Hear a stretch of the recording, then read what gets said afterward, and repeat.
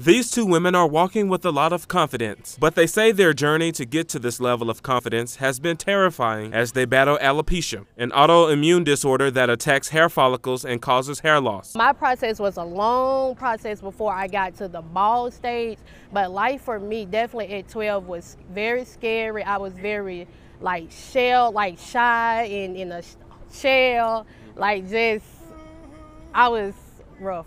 Anjelica Bice says she eventually had to come out of hiding and stop wearing wigs and covering up. She had to stay true to herself. Sandey Greene has been fighting the disease for about 15 years. I wouldn't even let my children see my hair. And then when I had grandchildren, they didn't see my hair. But when I decided to cut my hair bald, my children and my grandchildren was the first to see it. And after the positive response from them, nothing else mattered. And the pain from the illness unimaginable for some. My scalp stayed sore all the time.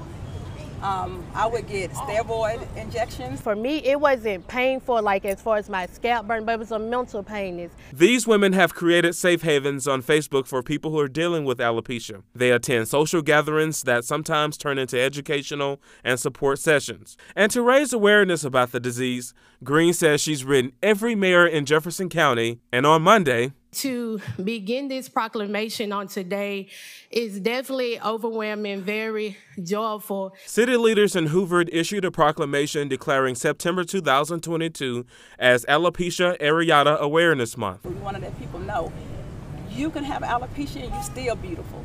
You can have alopecia, you can still date. You can yes. have alopecia, you can still go out in public and get positive response. Yes. It's not about being negative, it's about the positive. There's an alopecia awareness walk on September 17th at Wald Park in Vestavia Hills.